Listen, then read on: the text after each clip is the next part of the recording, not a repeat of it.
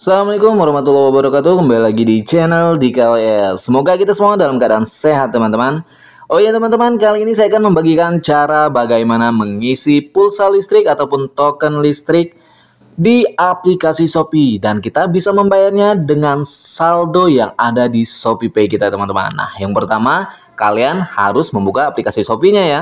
Setelah itu kalian pastikan saldo Shopee Pay kalian sudah terisi. Nah, setelah itu kalian bisa langsung pilih menu pulsa, tagihan dan tiket. Selanjutnya kita tunggu prosesnya sebentar teman-teman.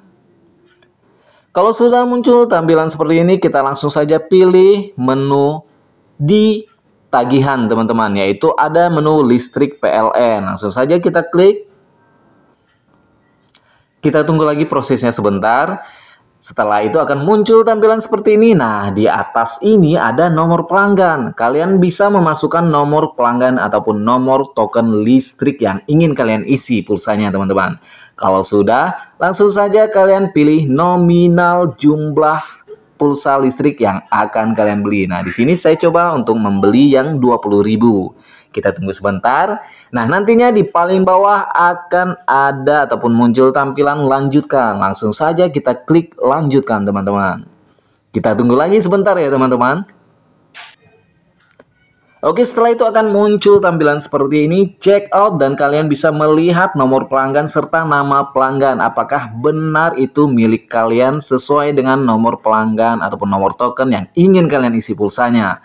Nah, kalau sudah, untuk membayar dengan menggunakan Shopee Pay, kita harus pilih metode pembayarannya harus menggunakan Shopee Pay ya teman-teman, jangan lupa. Nah, setelah itu di sini akan ada jumlah tagihan serta biaya admin dan di sini ada total pembayarannya. Nah, setelah itu kita pilih yang paling bawah ada bacaan bayar sekarang. Langsung saja kita klik. Nah, di sini kita tunggu lagi prosesnya sebentar saja teman-teman. Di sini nanti kita akan dihubungkan untuk memasukkan kata sandi Shopee Pay kita teman-teman untuk membayar pastinya tagihan dari pulsa yang kita beli. Nah, di sini ada jumlah total pembayarannya. Selanjutnya kita langsung diminta untuk memasukkan PIN Shopee Pay. Sekarang kita masukkan dulu. Nah, setelah itu kita tunggu lagi prosesnya sebentar saja, teman-teman.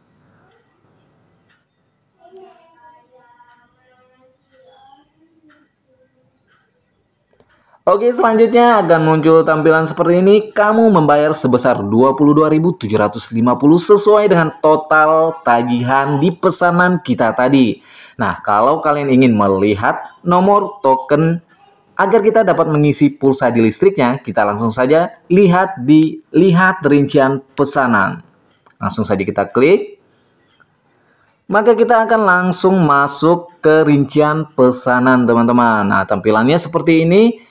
Di paling atas di sini ada token dan jumlah nominal yang kita beli tadi. Nah, ini di bawahnya ada token. Jadi nomor-nomor inilah yang akan kita masukkan ke dalam meteran listrik pulsa kita, teman-teman. Oke, kalian langsung saja pindahkan nomor-nomor ini dan kalian ketik di meteran listrik kalian. Dan ini pembayarannya pun sudah berhasil.